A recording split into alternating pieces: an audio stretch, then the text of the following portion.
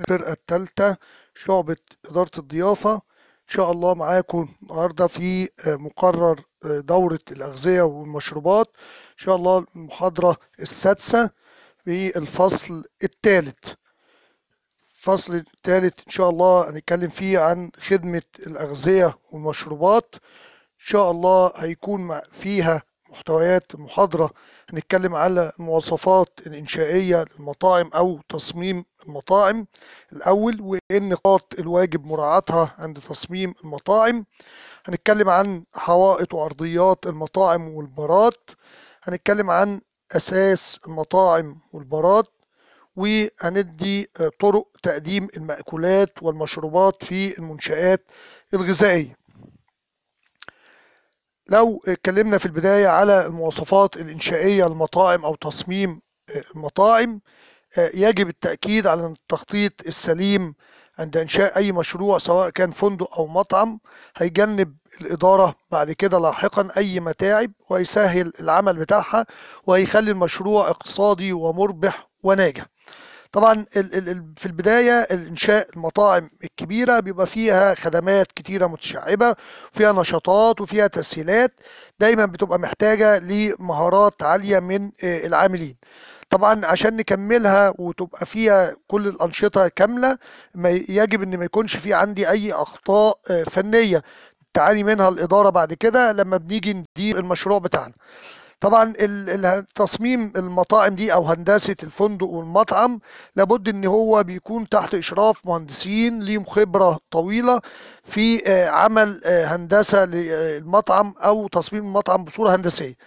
كتير من الدول بتبقى في شركات عالمية بتدير المطاعم والفنادق زي شيراتون زي المريديان زي الهيلتون مثلا شركات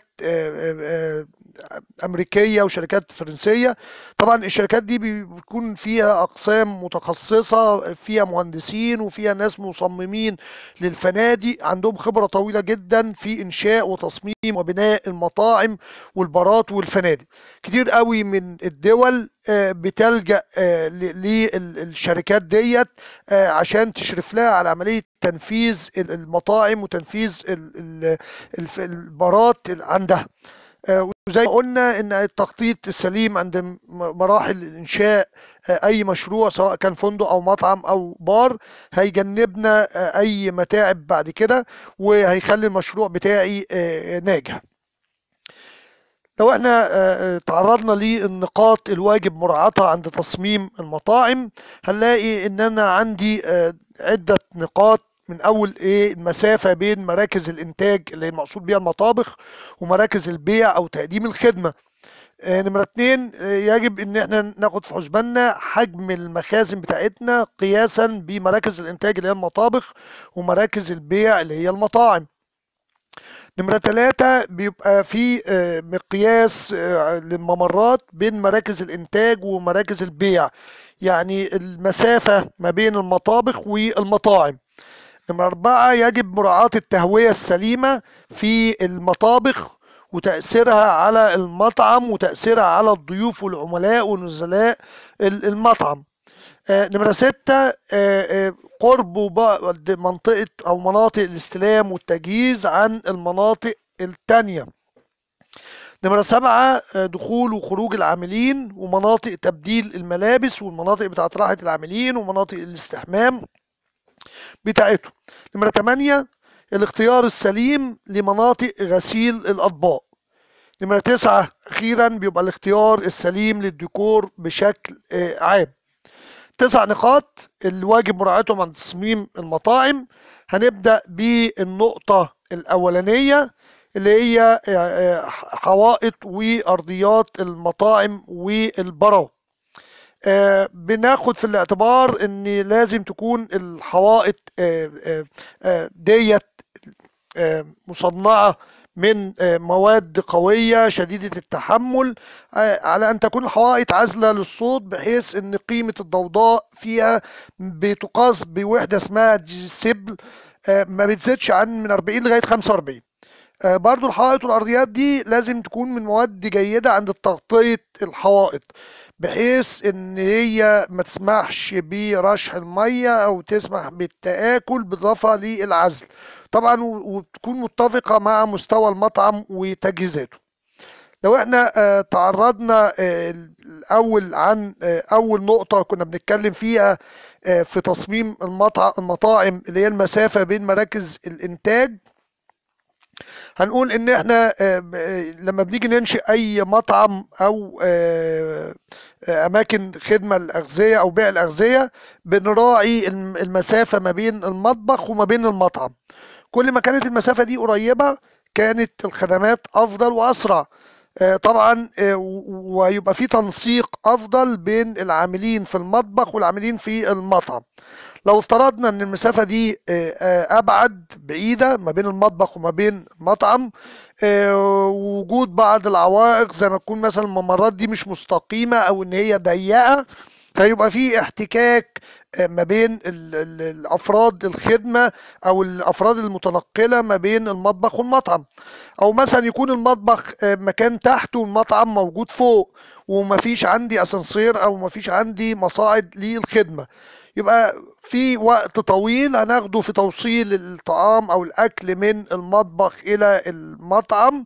طبعا ممكن إن هو يوصل بارد آه، متعرض لأي مؤثرات تانية. وإحنا ماشيين معرض للهواء معرض للتلوث. عامل الزمن هنا هيبقى عندي مهم جدا هيأخر لي في الخدمة وبالتالي ممكن يبقى الضيوف اللي عندنا في آه، تذمر. آه، ممكن إن أنا أحتاج لعدد أفراد كتيرة أو قوة عمل إضافية ده يسبب لي تكاليف. يبقى المسافة بين نمرة واحد المسافة بين مراكز الإنتاج ومراكز البيع أو تقديم الخدمة مهمة جدا. آه، نمرة اتنين اللي هو حجم المخازن قياسا بمراكز الإنتاج ومراكز آه، البيع. آه، كتير قوي لما بنعمل مشاريع فندقية أو مطاعم بتبقى فيه أحيانا عدم اهتمام كافي بالمخازن أو حجم المخازن. طبعا عدم الاهتمام الكافي بحجم المخازن ممكن يسبب لي مشاكل بعد كده. حجم المخزن ده لابد إن هو يتناسب مع حجم الإنتاج بتاعي. وحجم الإنتاج بتاعي لابد إن هو يتناسب مع آه، مقدار الطلب أو البيع اللي أنا هبيعه. آه، مقدار الطلب والسعة بتاعت المطاعم قد إيه. يبقى أنا المخزن عندي لابد إن هو يتناسب مع حجم الإنتاج ما يكونش عندي مخزن صغير وأنا إنتاجي هيكون آه، كبير. أو العكس. والمواد الأولية الخامات اللي أنا هستخدمها لو أنا عندي عدد كبير يبقى أنا استخدم كميات كبيرة طلب كبير استخدم مواد خام كبيرة يبقى لابد إن حجم المخزن هيتناسب مع حجم آه، الإنتاج. يبقى وبرضه نراعي إن ما يكونش مخزن واحد ده لابد إن هو يكون عدد آه، من المخازن. آه، في عندي مواد من الخامات دي بتبقى سريعة التلف. ما ينفعش نحفظها كلها في في في مكان واحد مع الأغذية الثانية اللي هي بطيئة التلف. دي بتحفظ لوحديها ودي بتحفظ لوحديها. في عندي آه، آه، خامات لابد إن إحنا تعرض للتبريد في الثلاجات أو تحفظ بالتبريد أو آه، مجمدات. يبقى أنا براعي إن حجم المخزن بيتناسب مع المواد الخام اللي أنا هخزنها فيه اللي بيتناسب مع حجم الإنتاج وبيتناسب مع عدد العملاء اللي إحنا هنخدمهم في المطاعم وبنراعي إن يكون في عندي تعدد للمخازن.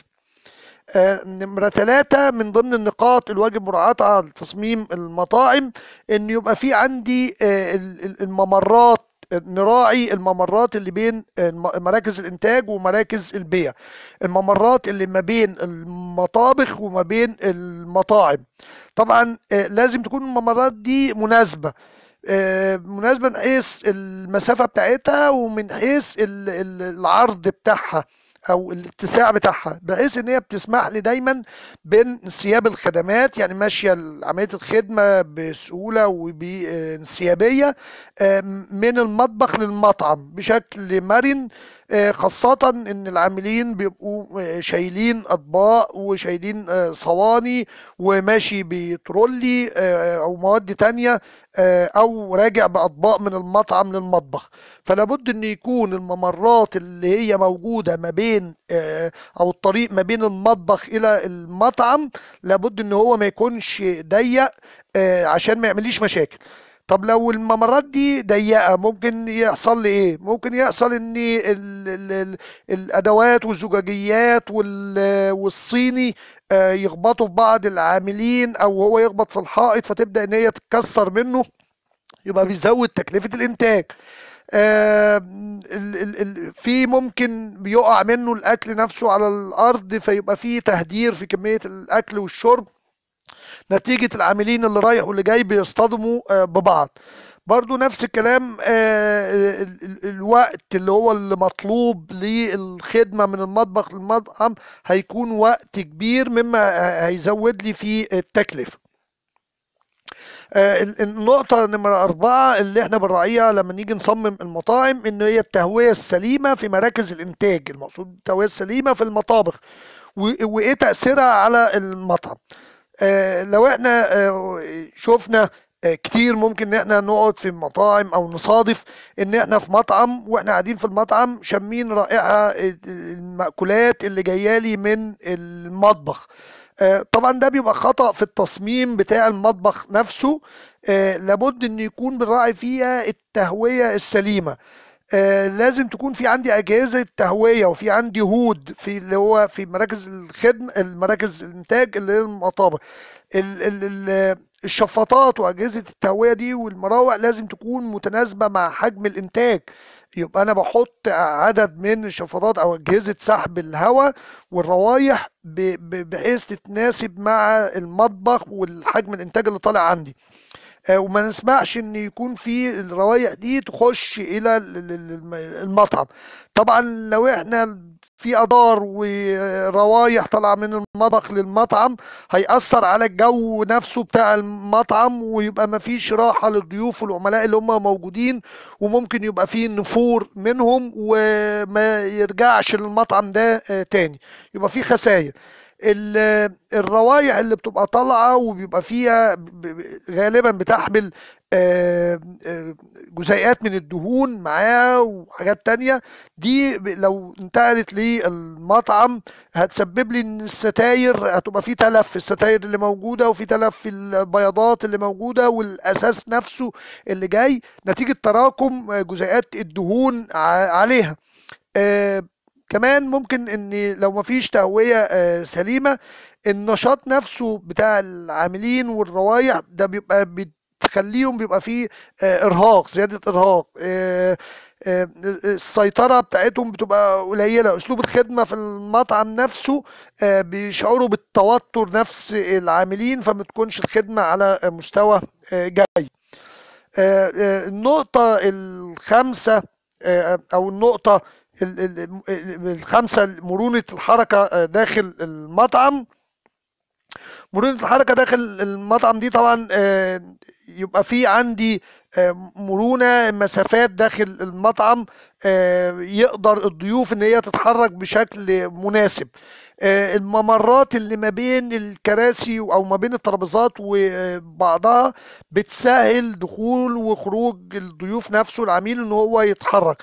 طبعا ومرونة الخدمة والوقت نفسه بيبقى مختصر وكويس. وبنسهل السيطرة على ال- أو الإدارة الكويسة بتاعة المطاعم.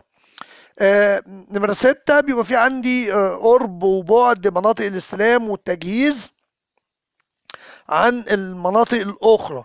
آه، دي معناها إيه؟ معناها إن الشغل عندي بيبقى كله في المطاعم بيبقى عمل متناسق. يعني عبارة عن دوائر كده مترابطة وكل واحدة بتكمل التانية. فبيبقى في عندي مناطق للاستلام للخامات اللي هتخش من أغذية ومشروبات. المنطقة دي بتعتبر من المناطق المهمة اللي بيعتمد عليها نجاح آه، أو فشل أي مشروع زي ال- ال- ال- المطاعم.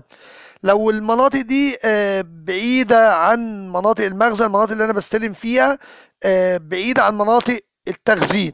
طبعا ده تحمل المطعم أو الفندق آه، آه، عبء تاني إن ممكن في تلوث وفي آه، تلف وفي خسارة للخامات اللي عندنا. خاصة في لو المناطق اللي هي حارة منطقة استلام بتبقى في الخارج وفي رصيف استلام لو هو بعيد عن التخزين معرض للتلوث من الجو الخارجي معرض للتلف. بيبقى في عندي منطقة آه متكاملة للاستلام. آه آه المنطقة المتكاملة للاستلام دي بتبقى لجنة للاستلام وناس بتستلم فيها ورصيف استلام على حسب الساعة عندنا.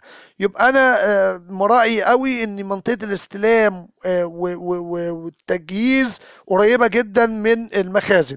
برضو في منطقة الاستلام بعمل لها بعض الأوعية كده عشان لو في نفايات أو في أي حاجة آه، تالفة بتبدأ إن أنا أفضيها في الأوعية دي تبقى قريبة من مناطق الاستلام وبتخلص منها باستمرار وبنضفها وبضيف إيه بعض المعقمات.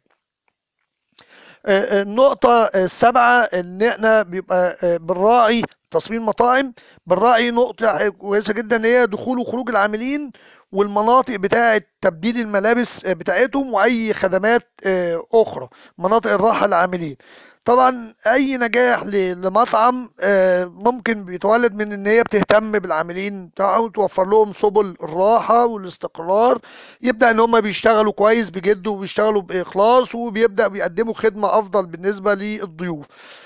طبعا مش غير المناسب إن بيدخل العاملين والناس من نفس المنطقة اللي بيتم استقبال فيها ال- ال- الضيوف. يبقى نراعي في التصميم إن في باب موجود للعاملين وفي باب موجود للضيوف.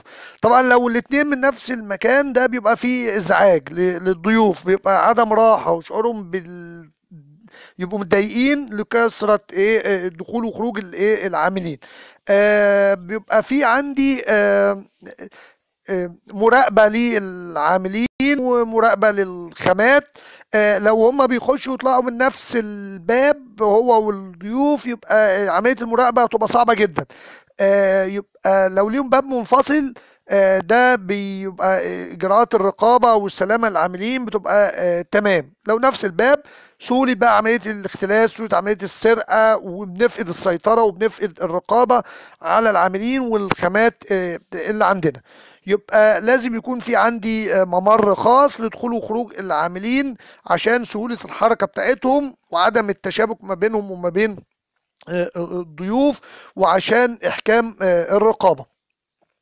آه، بالإضافة إن إحنا لازم نصمم أماكن آه، خاصة للعاملين. لتبديل الملابس آه، مناطق للاستحمام والنظافة آه، متزودة في لوكر أو في آه، خزن ليهم دواليب موجودة عشان يحط فيها ملابسه والحاجات الضرورية طبعا بتشترط فيها إن هي تكون بعيدة عن المطابخ بعيدة عن المطاعم بعيدة عن أماكن تحضير آه، النقطة نمرة 8 إن إحنا يبقى في عندي اختيار سليم لمناطق غسيل آه، الأطباق والزجاجيات والفضيات.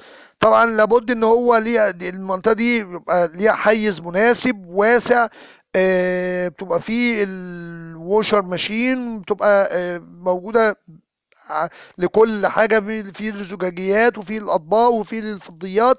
يبقى لابد إن إحنا نختار منطقة سليمة قريبة من آه، المطبخ آه، واسعة آه، نراعي فيها شروط السلامة والمهنيه عشان عدم حدوث أي أضرار.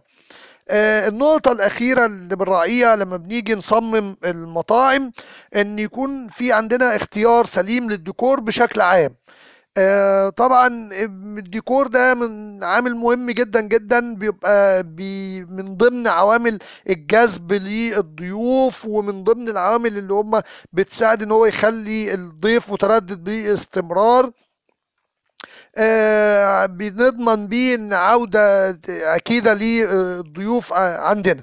طبعا ال- الديكور آه، بصفة عامة يعني بيكون في تجانس للألوان آه، ال- ال- الأسات متناسقة. آه، في بعض الألوان اللي هي بتشجع على فتح الشهية آه، زي اللون ال orange. ده أفضل الألوان اللون البرتقالي الأفضل الألوان في المطاعم لفتح الشهية وطلب كميات إضافية. طبعا الديكور بي- بيشمل الإضاءة اللي هي بتختلف من مكان إلى الآخر إضاءة خافتة رومانسية في المطاعم التقليدية آه، أو آه، إضاءة شديدة شوية في المطاعم الوجبات السريعة لتفي بالغرض آه، منه ال- ال- والضيف بتاعها أو العميل. طبعا برضو الديكورات بشكل عام بتتضمن ممكن موسيقى وفي أصوات فبيبقى برضو عندي اختيار سليم لتوزيع الصوت وتوزيع الموسيقى.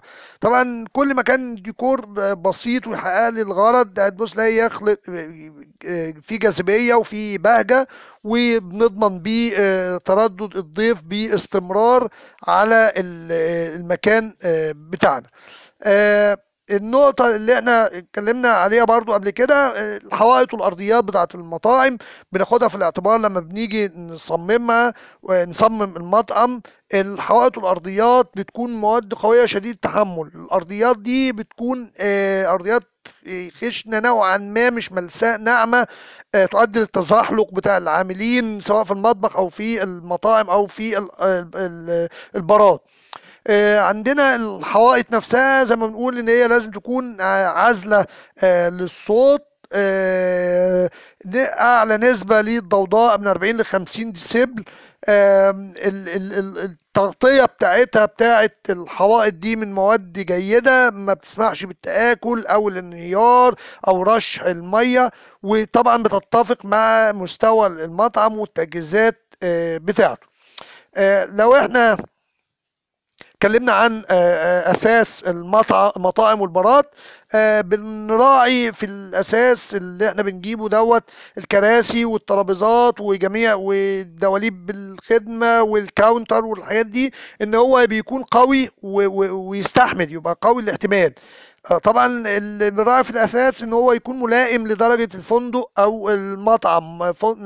مطعم فاخر يبقى أنا برضو نفس الكلام الاثاثات بتاعته بتكون فاخره بالنسبة للكراسي آه، يجب أن يكون ارتفاع الكرسي 55 سنتي عن آه، آه، الأرض. ده في الم- في المطاعم الفاخرة. آه، ارتفاع الكرسي 55 سنتي عن الأرض. الميل بتاع الظهر يبقى فيه ميل خفيف لورا شوية آه، حوالي زاوية 110 إلى 130 آه، درجة. طبعا ده في المطاعم الفاخرة لراحة الضيف ال- ال- العميل. ال- المطاعم بقى اللي هي بتاعت الوجبات السريعة آه، بيكون فيها ال ال ال ال الكراسي آه، تقريبا آه، الارتفاع بتاعه 53 سنتي عن الأرض. يعني أقل شوية إحنا في المطاعم الفاخرة بنقول 55 في المطاعم الوجبات السريعة بنقول 3 وخمسين آه، زاوية الميل بتكون آه، ظهر الكرسي بتكون زاوية قايمة آه، حوالي تسعين.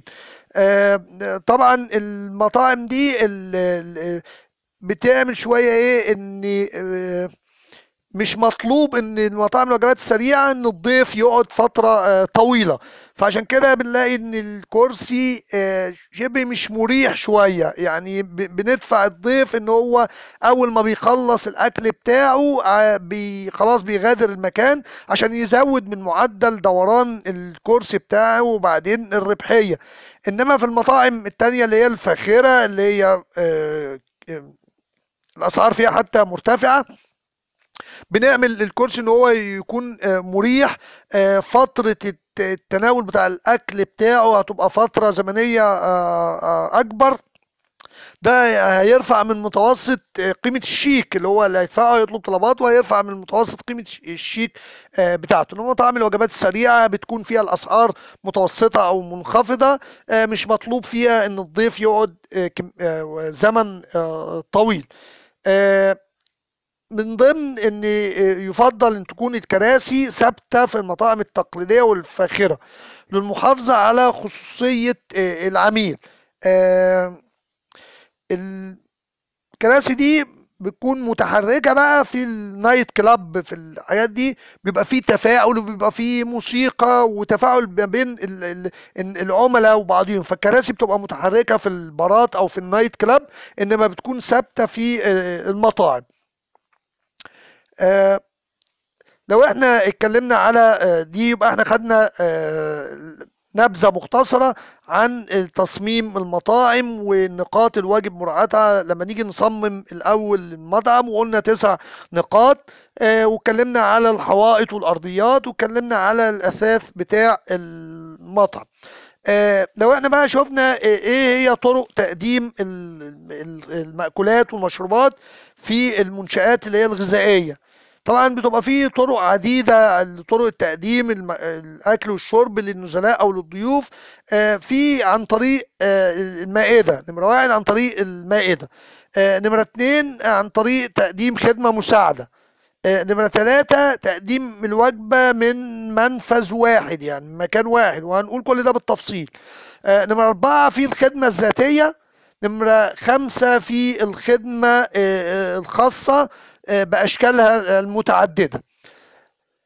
لو إحنا شفنا نمرة واحد الخدمة عن طريق المائدة آه، دي آه، لما بيجي بيخش العميل عندي بنرحب بيه وبن والترابيزة اللي بيفضل الجلوس عليها وبيقعد على الترابيزة اللي هي بتكون آه، مجه- مجهزة آه، أو معدة من قبل قبل كده آه، عليها الأدوات عليها الشوك عليها السكاكين في ال- المفارش عليها ال- ال- الفوط عليها زهرية. آه، عليها ال- ال- الأدوات المساعدة الم- الملاحة وال- وال- والفلفل وكل الأدوات.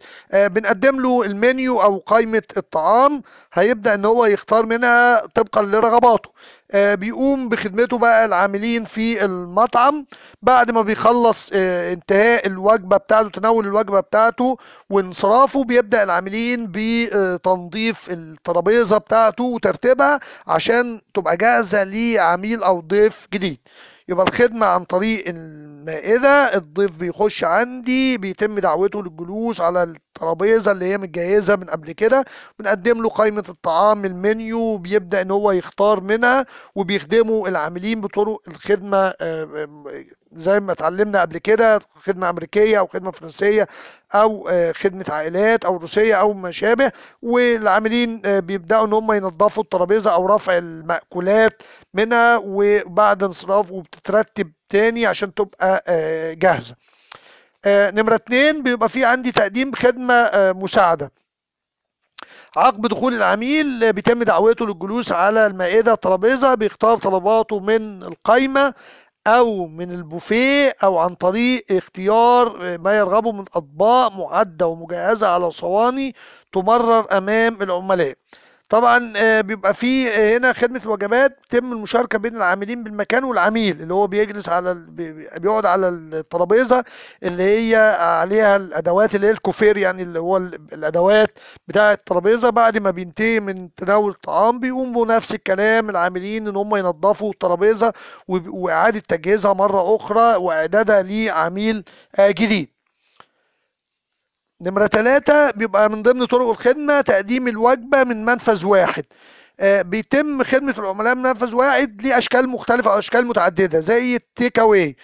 ال take away ده بيتم من خلال آه، counter بيبقى فيه زي آه، آه، صف آه، بيبقى فيه آه، عاملين واقفين آه، وراه آه، بيبدأ إن هم الخدمة دي بي- بيطلب اللي هو عايزه آه، بياخدها وبيتم تناولها في الخارج آه، في المنزل أو في أي آه، مكان. آه، من ضمن التجاوي إن هو آه، الخدمة راكب السيارات أو قائد السيارات بتبقى فيه آه، وهو راكب العربية بتاعته بيبدأ إن هو يطلب ال- ال- اللي هو عايزه بتيجي على التري أو بيجي على صينية المأكولات وبيتم تناولها داخل آه، السيارة. طبعا آه، بيبقى فيه المطعم زي ال take away زي مطاعم الوجبات السريعة والخدمة اللي فيها ال- اللي هي ال take away من منفذ واحد برضو تقديم الوجبة من منفذ واحد زي آه، استخدام اللي هي الماكينات البيع الأوتوماتيكية اللي هي بنسميها ال vending machine. vending machine مكنه بيع بتبقى فيها آه، مأكولات وبتبقى فيها مشروبات سواء مشروبات باردة أو مأكولات برضو باردة أو في مأكولات آه، آه، سخنة بتبقى موجودة داخل المطاعم واحيانا في الشارع بره خارج المطاعم. يبقى دي وجبة من منفذ واحد بحط فيها باخد منها اللي أنا عايزه وفيها ماكينات حديثة تاتش وبتحط فيها العملة أو بتحط فيها ثمن الوجبة. آه، بتبقى في عندي تاني عن طريق الأكشاك آه، بعض أكشاك بيع ال- ال- المواد الغذائية آه، وتقديم الوجبة. أو عن طريق البار آه، المأكولات خفيفة أو مشروبات بأنواعها. آه، نمرة أربعة من ضمن طرق ال- الخدمة اللي هي الخدمة آه، الذاتية. آه، اللي هي زي الكافيتيريا. بيقوم الأفراد إن هو خدمة ذاتية يعني خدمة الفرد لذاته يعني هو بيخدم نفسه بنفسه بيختار الأطباق ب- بنفسه في counter كده بيبقى آه، بيتم إعداده زي ما باين في الصورة كده قدامكم آه، في المأكولات اللي موجودة وفي أي حد من ضيوف واحدة من الضيوف بتبدأ إن هي تاخد الأطباق آه، بتاعتها وتحط في الطبق ما يحلو له. طبعا ال counter ده بيبقى واخد أشكال كتيرة وأحيانا بيبقى فيه صواني آه، موجودة آه، بيحط عليها الأطباق اللي هو آه، بيحملها بأصناف الطعام المختلفة وبيحطها على الصينية وبيتم تناولها في على الترابيزة آه، بتاعته. طبعا من ضمن ال- الخدمة الذاتية دي الخدمة اللي إحنا بنشوفها على الطيارات أو من ضمن وسائل النقل المختلفة اللي إحنا بنقول عليها اللي هي نمرة خمسة الخدمة الخاصة. آه، الخدمة الخاصة دي يعني آه، خدمة العملاء أو الضيوف في مناطق عفوا آه، في مناطق آه، آه، مش مخصصة أساسا لخدمة المأكولات والمشروبات. يعني آه، مش مطعم. دي هي خدمة خاصة زي نمرة واحد المستشفيات والطائرات وسائل النقل المختلفة. فبنبدأ إن هو آه، آه، زي ما شايفين كده في بعض في المستشفيات بتبقى لازم في وجبات للمرضى فبيبقى بنستخدم صواني لتقديم المأكولات. برضو في الطيارات نفس الكلام بتبقى في أكل معد مسبقا في محطات تموين ال- ال- الطائرات. آه، وبيتم آه، تسويته وبس إعادة تسخينه فقط في الطيارة أو تقديمه آه، مباشرة في وسائل النقل المختلفة. برضو نفس الكلام زي القطارات زي البواخر. دي بتعتبر آه، خدمة خاصة زي ما بنقول إن هي في أماكن غير مع... لم... ما تمش إنشائها أساسا للمأك... للأكل والشرب. هي بس خدمة مساعدة أو خدمة خاصة. آه، نمرة اتنين في الخدمة الخاصة أنا ممكن أستخدم ترولي آه، محمل عليه مأكولات ومشروبات زي خدمة الغرف في الفنادق أو في مكاتب العاملين. زي ما شايفين في الصورة فرد الخدمة قدامه الترولي حاطط عليه المأكولات وحاطط عليه المشروبات وبيتم خدمته للنزلاء في الغرف بتاعتهم. وأحيانا في بعض الشركات الكبيرة نفس الكلام بتبقى خدمة للعاملين آه، نمرة ثلاثة في الخدمة الخاصة إن هو ديليفري إن أنا آخد الأكل وأوصله آه، عن طريق آه، أفراد آه، عن طريق الدراجات النارية آه، غالبا.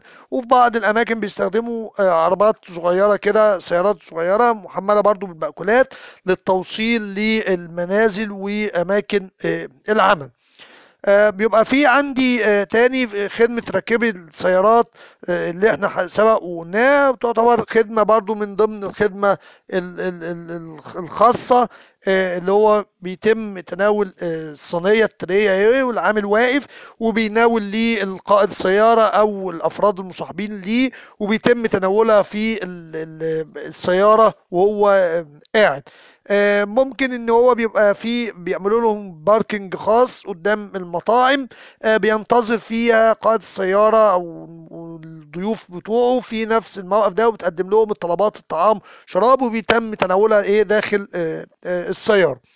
في عندي نمرة خمسة آه، من ضمن الخدمة ال- الخاصة اللي هو الخدمة في قاعة الاجتماعات والصالات والاستراحات وأماكن الاستقبال آه، نفس الكلام آه، اجتماع قاعة مؤتمرات آه، بيتم فيها خدمة للأكل والشرب آه، وتعتبر إن هي من ضمن الخدمة آه، الخاصة. آه، بشكركم لحسن استماعكم. آه، المحاضرة النهاردة كانت كلها عن تصبيغ طرق الخدمة آه، خدمة أغذية ومشروبات وبدأنا من البداية في تصميم آه، المطاعم. نراعي في تصميم المطاعم وهندسة إنشاء المطاعم وقلنا تسع نقاط واجب مراعاتهم عند إنشاء المطاعم ديت من الممرات من مرونة الحركة الديكور بشكل عام مناطق الاستلام المسافة بين المطبخ والمطعم المخازن إن لازم يكون عندي تهوية سليمة لازم يكون في عندي مناطق لغسيل الأطباق وتهيئة مستلزمات التشغيل مناطق دخول وخروج العاملين الأبواب بتاعتهم ومناطق تبديل الملابس. واتكلمنا على الحوائط والأرضيات و- ومواصفاتها تكون إيه واتكلمنا على أثاث المطاعم والبارات وبعد كده ادينا لمحة مختصرة عن آه، طرق تقديم أو طرق آه، تقديم المأكولات والمشروبات في المطاعم والمنشآت الغذائية. وقلنا إن في عن طريق المائدة وقلنا عن طريق خدمة مساعدة أو من منفذ واحد أو خدمة ذاتية أو خدمة آه، خاص خاص. إن شاء الله نلتقي معاكم في المحاضرة القادمة عن إعداد المطعم للخدمة. شكرا جزيلا ومع تمنياتي ليكم بالتوفيق والنجاح دكتور خالد ابن الوليد.